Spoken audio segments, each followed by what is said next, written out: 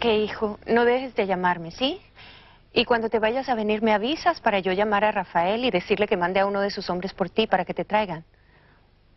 Te quiero mucho, mi amor, y cuídate.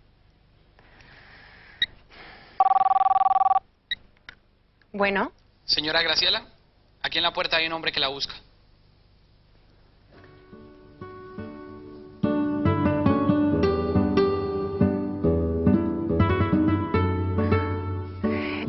Déjelo pasar, por favor. Y cada vez que él venga puede pasar sin problema.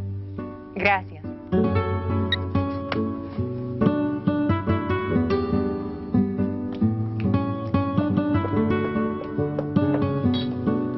Ah, ¿Cómo estás? Hola, mi bella. Pasa adelante, Emiliano. ¿Quieres un jugo o algo? No, no, gracias. Sabes, ya te estaba extrañando. Ay, mi bella. Nada me gustaría más en este momento que continuar lo que habíamos iniciado. Pero no va a ser el mejor momento. ¿Por qué? ¿Qué pasó? Lo que te voy a decir va a ser muy difícil para ti, pero es mejor que lo sepas de una vez. A Ana y a David se lo llevaron a la estación de policía y no creo que sea para nada bueno. Vine a ver si querías ir para allá conmigo.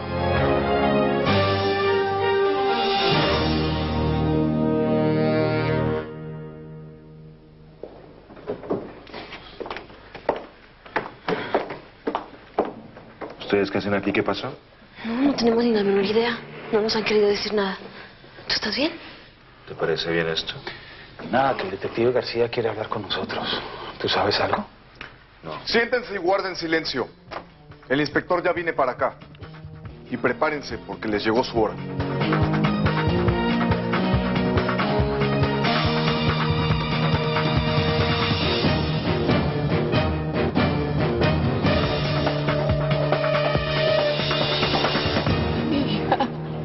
Hija, por lo que más quieras, mi amor. Por, por tu hijo, sí. Yo no quiero a ese bastardo, mamá. Bueno, entonces por ti. Mi amor, vámonos. Perdámonos de aquí, mi cielo. No sigas con esto. Mira, toda la policía, toda la policía te está siguiendo.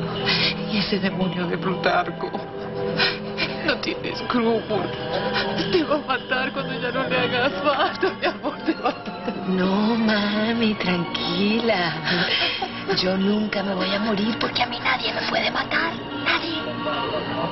Ay, Dios. Mira cómo está. Mira lo que dices.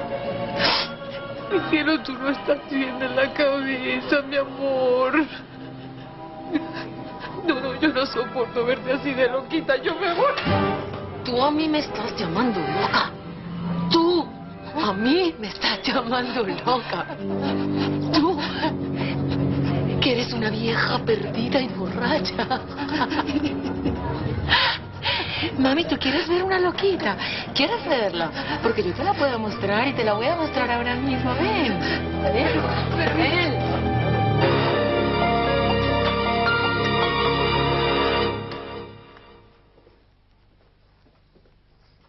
Vaya, vaya. Qué bien se ven juntos, ¿eh? Inspector, yo necesito... ¡Silencio! Aquí el único que va a hablar soy yo. Ustedes se van a limitar a contestar. Pero primero, Gutiérrez, muéstrales la pequeña sorpresa que les tenemos preparada.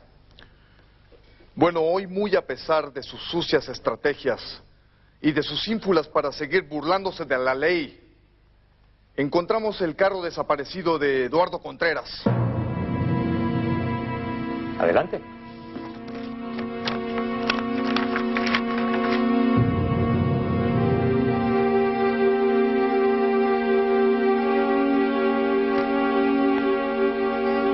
Qué cara han puesto, ¿eh? Ni que hubieran visto a un muerto. Ojo. O a lo mejor eso fue lo que pasó. Poco antes de lanzar el coche hacia el lago, ¿no? Ah, Pero está bien. Supongamos que nos siguen creyendo imbéciles y que no saben nada del coche. Que el coche llegó al lago por casualidad, ¿no? Inspector, ¿qué es lo que quiere? ¿Yo? Hablar, discutir, averiguar, resolver este problema tan desagradable para todos. Porque ustedes tres están involucrados o no lo sabían, ¿eh?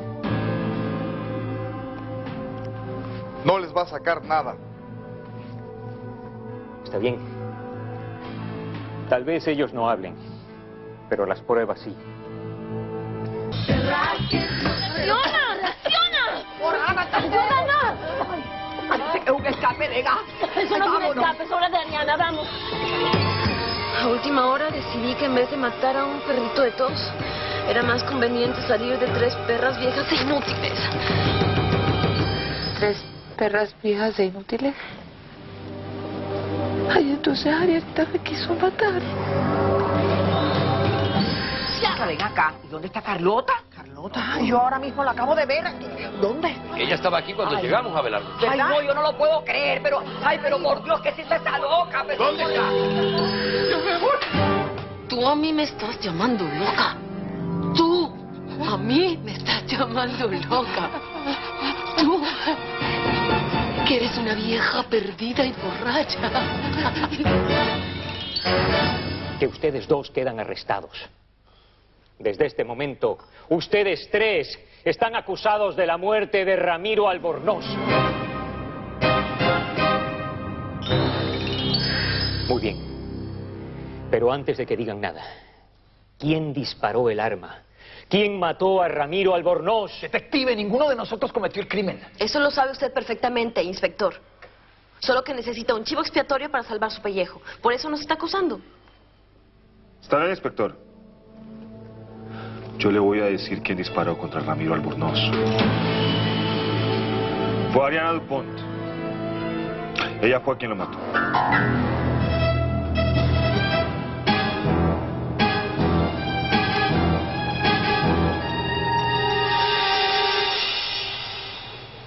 Verónica, tengo que hablar contigo, ¿sí? Si me vas a hablar sobre lo que ocurrió el otro día, por favor, olvídalo. Fue un accidente. ¿Un accidente? Un accidente es una llanta que se poncha. Tú sabes que el beso que me diste y de la manera que cerraste los ojos no fue un accidente. Tú sabes que de la manera que me abrazaste no fue un accidente, Verónica. Acéptalo. Tú lo disfrutaste de la misma manera que yo lo disfruté. ¿Qué quieres que te diga? ¿Que me volviste loca con ese besito? ¿Que no he dejado de pensar en ti? ¿Que quiero que te acuestes conmigo? Pues no. Tú y yo somos adultos, Julio César. Y si hubiera querido acostarme contigo ya lo habría hecho. Pero eso no va a suceder ni hoy ni nunca. Pues como adultos que somos, te lo digo que tú estás equivocada en lo que crees que sientes por ese Eduardo. ¿Y tú no estás haciendo lo mismo con lo que sientes por Ana? Quizá, quizá, pero solo quería decirte que este accidente me ha provocado que me esté acordando mucho de ti, mi querida Verónica, y solo quería hacértelo saber. Gracias.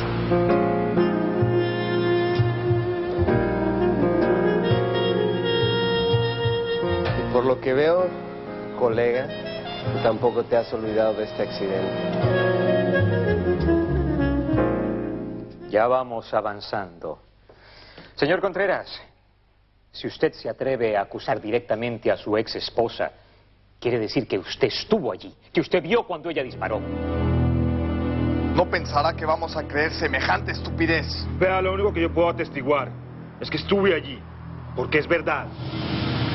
Ahora, yo no tengo pruebas para demostrar que fue Ariana, pero estoy completamente seguro que ella fue la que disparó contra Ramiro Albornoz.